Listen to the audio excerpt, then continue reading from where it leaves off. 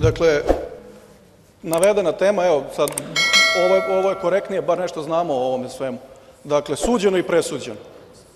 Suđeno i presuđeno, dokazano da je bilo zloupotrebe, ali ima tu jedna interesantnija stvar.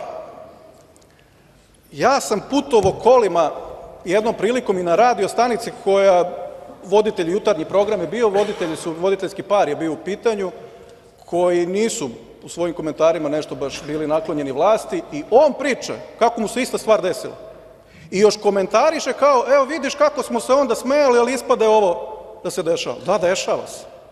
Da, dešavaju se te zloupotrebe.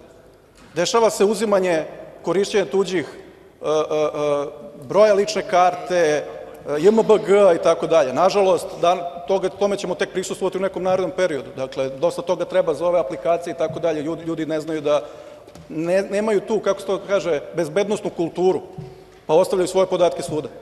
Tako da, da dešava se. A što je najgore od svega, ne samo da se dešava, nego suđeno i presuđeno. Da je istina to što je Andrej Vučić rekao. I sad vi vraćate nazad priču i kažete ne, to što je sud utvrdio u, u, u postupku, to ništa nije tačno, tačno je ovo što vam ja kažem. I kažem ponovo, nemojmo da vraćamo pravosuđe u parlament. Nedavno smo, a što se tiče, evo sad i ovaj dobacuje, ali on se bar ne žali kad se njemu dobacuje, tako da je oprošten. U svakom slučaju, ono što je tu bitno kada se tiče vaših amandmana na registar, na registar, registar o stvarnom vlasništvu, znam, ne brini, da čujem ja ko je stvarni vlasnik dela sa Miškovićem u Maksiju u centru Kruševca. E, a nećeš da kažeš, dobro, nećeš da kažeš, ali dobro.